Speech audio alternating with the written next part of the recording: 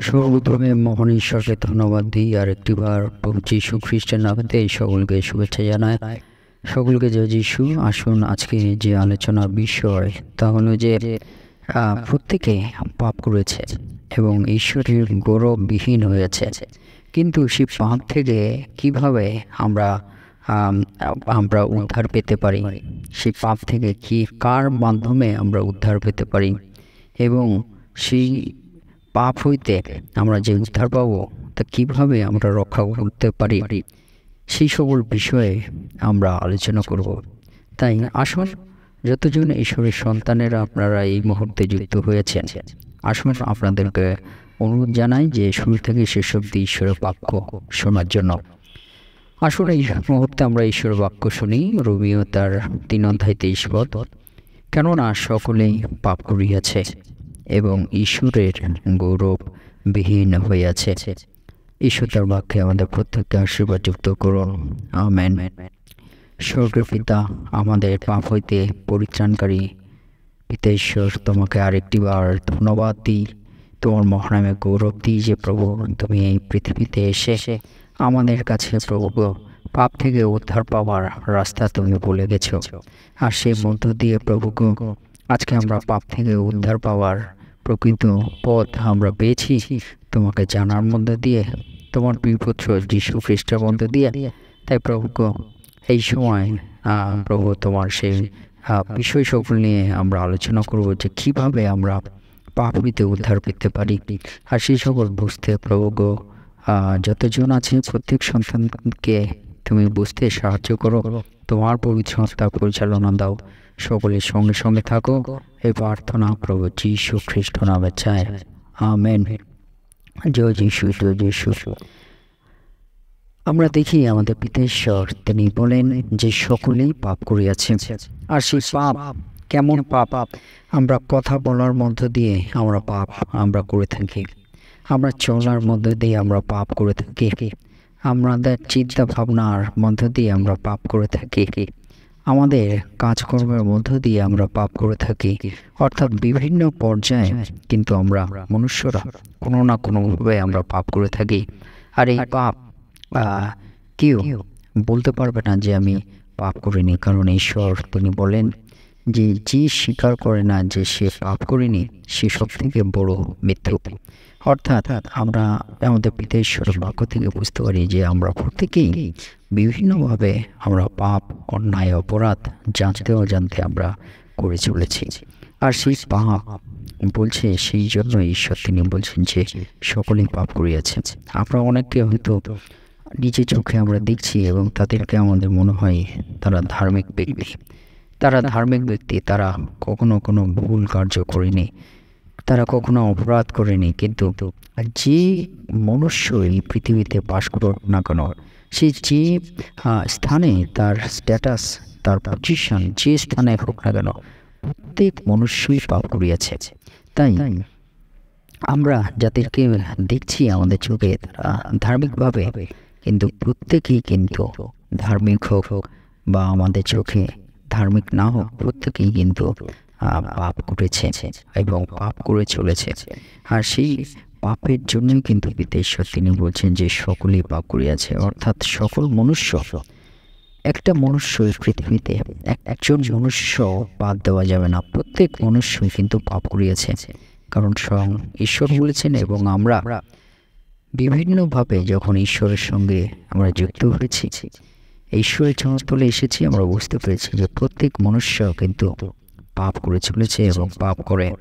আর সেই মধ্য দিয়ে পিতা ঈশ্বর তিনি বলেন যে, সকলেই পাপ করিয়াছে এবং ঈশ্বরের গৌরববিহীন হয়েছে ঈশ্বরের গৌরববিহীন হ্যাঁ হয়েছে ঈশ্বরকে যে গৌরব দেওয়ার দরকার আছে, সেই গৌরব কিন্তু মনুষ্য তারা দিতে পারেনি। তারা পারছে না। তার কারণ হলো তাদের পাপের কারণে। তারা ঈশ্বরকে গৌরব দিতে পারছে না। কারণ সেই পাপের কারণে ঈশ্বর থেকে তারা বিচ্ছিন্ন হয়ে গেছে। প্রত্যেক মনুষ্য প্রত্যেকে বিচ্ছিন্ন হয়ে গেছে।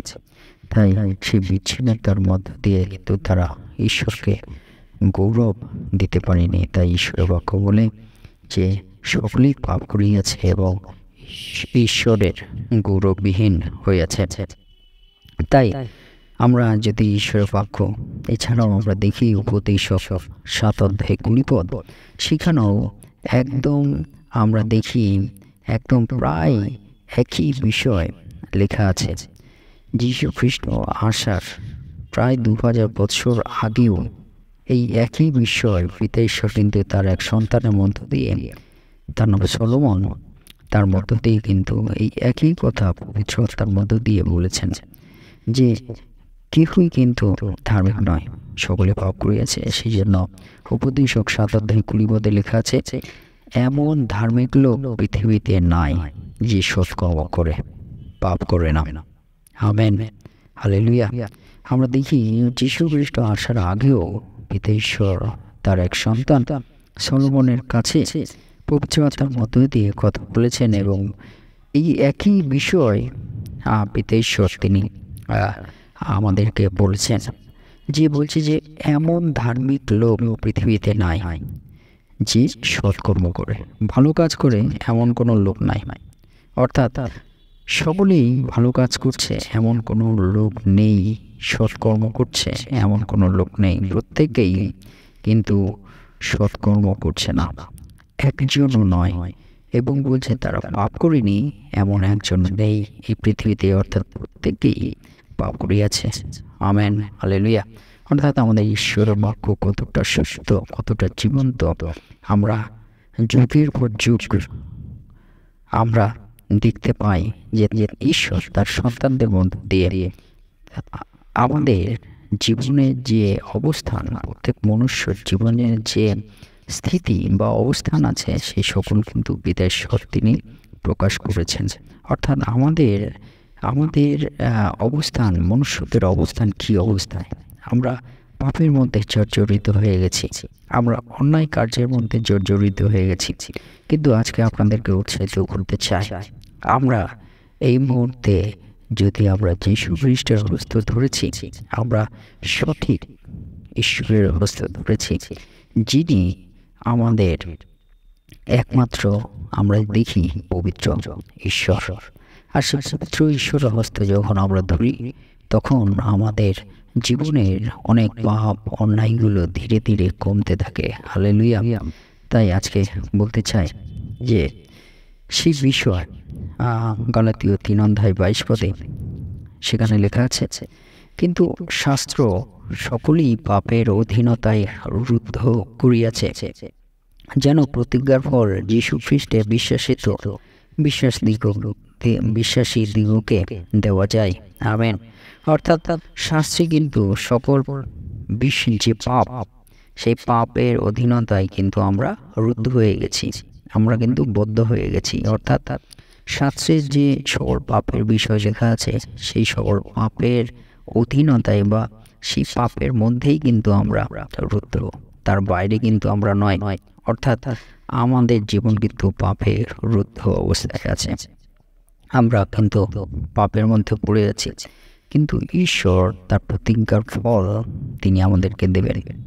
যদি আমরা যীশু খ্রিস্টের বিশ্বাসিত আমরা থাকি, তাহলে সেই বিশ্বাসিত আমরা যিশুতে বিশ্বাসী আমরা নিজেদেরকে আমরা বলতে পারি। কারণ বাক্যে তাই বলছে যে যীশু খ্রিস্টের বিশ্বাসিত, বিশ্বাসী দিগুকে দেওয়া যায় প্রতিজ্ঞার ফল। Amen, hallelujah. অর্থাৎ আমরা কে? আমরা যদি যিশুকে আমরা বিশ্বাস করি, তাহলে আমরা বিশ্বাসী। ঈশ্বর বাক্য তাই বলছে। আর যারা বিশ্বাসী, তাদেরকে কিন্তু প্রতিজ্ঞার ফল দেবেন। সেই প্রতিজ্ঞার ফল কি? যে ঈশ্বর তিনি আমাদের আশীর্বাদময় জীবন দেবেন। ঈশ্বর তিনি আমাদেরকে সুন্দর জীবন চলার ক্ষমতা দেবেন। আগে আমাদের যে কাজকর্ম মন্দ ছিল, তা থেকে আমাদেরকে ভালো পথে তিনি চালাতে সাহায্য করবেন। হালেলুয়া। কারণ তিনি পবিত্র এবং তার হস্ত ধরলে আমরাও সেই কার্য করতে আমরা শুরু করব। হালেলুয়া। তাই প্রতিজ্ঞার যে ফল তিনি আমাদেরকে দেবেন, তাই সেই জন্য সেই প্রতিজ্ঞার ফল আমরা কীভাবে পাব? ঈশ্বর থেকে আশীর্বাদ কীভাবে পাবো? আমাদের অন্ধকার জীবন থেকে আলোকিত জীবনে আমরা কীভাবে আমরা চলার শক্তি পাইতাম যীশু খ্রিস্টের বিশ্বাসের মধ্য দিয়ে। এবং সেই যীশু খ্রিস্টকে আমরা কীভাবে জানতে পারি? তা থিসলনিকীয় দ্বিতীয় থিসলনিকীয় দুই অধ্যায় চোদ্দ পদে সেখানে বলছে, আমরা প্রভু যিশুকে কীভাবে জানতে পারি? সে বিষয়ে লেখা আছে, এবং সেই অভিপ্রায়ে আমাদের সুসমাচার দ্বারা তোমাদিগকে আহ্বানও করিয়াছেন, যেন তোমরা আমাদের প্রভু যীশু খ্রিস্টের প্রতাপ লাভ করিতে পারো। Amen, hallelujah.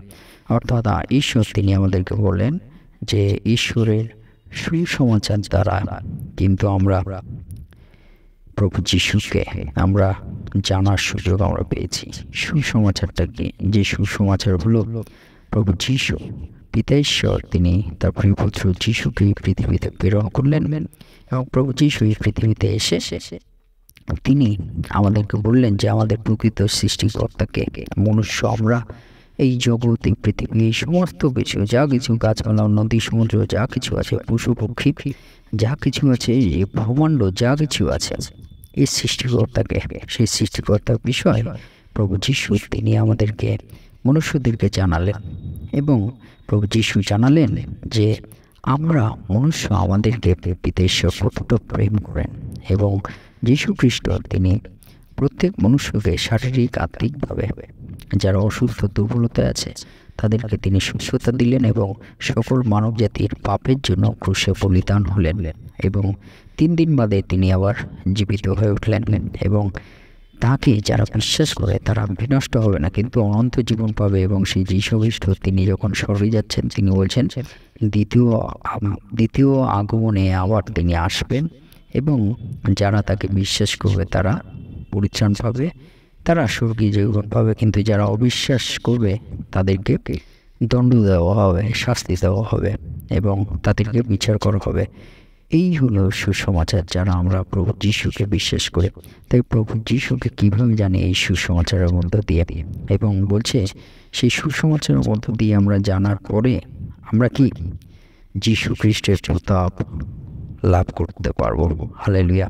প্রভু যীশু খ্রিস্ট যে প্রতাপে তিনি স্বর্গে গেছেন, ক্রুশে বলিদান হওয়ার পরে তিনি যখন তিন দিন বাদে জীবিত হয়ে উঠেছেন এবং যে প্রতাপ, যে ক্ষমতা দ্বারা তিনি স্বর্গে তিনি গেছেন, সেই প্রতাপে আমরা মনুষ্য। যদি আমরা কবর দেওয়া হয় বা পুড়িয়ে দেওয়া হয়, আমরা মাটিতেই মিশব কিন্তু যীশু খ্রিস্ট আসার পরে সেই প্রতাপে আমাদেরকে আবার তোলা হবে। হালেলুয়া। এবং স্বর্গে সেই প্রতাপ আমাদেরকে দেওয়া হবে। সেই প্রতাপ, যীশু খ্রিস্টের প্রতাপ আমরা লাভ করতে পারব। হালেলুয়া।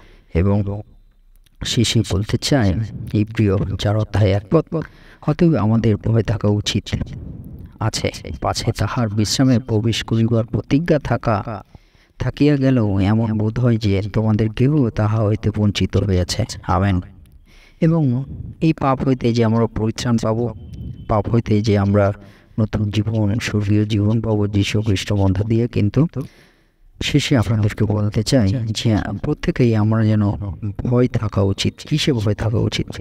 যে প্রভু যিশু যে প্রতিজ্ঞার মধ্য দিয়ে তিনি আমাদেরকে স্বর্গীয় জীবন দেবেন, সে বিষয়ে আমাদের ভয় থাকা উচিত। যে আমরা যেন বঞ্চিত না হই। আমরা যেন প্রভু যীশু খ্রিস্টের বিশ্বাস জীবনের শেষ পর্যন্ত আমরা ধরে রাখতে পারি। হালে লুইয়া সেই মধ্য দিয়ে কিন্তু আমরা পাবো এতে পরিশ্রম পাবো এবং স্বর্গীয় জীবন পাবো। তাই সকল ঈশ্বরের সন্তানদেরকে শুরু থেকে সেই শব্দে উৎসাহিত করতে চাই। আশা আমরা প্রভু যিশুর চরতলে আমরা নিজেদেরকে সমর্পিত করি।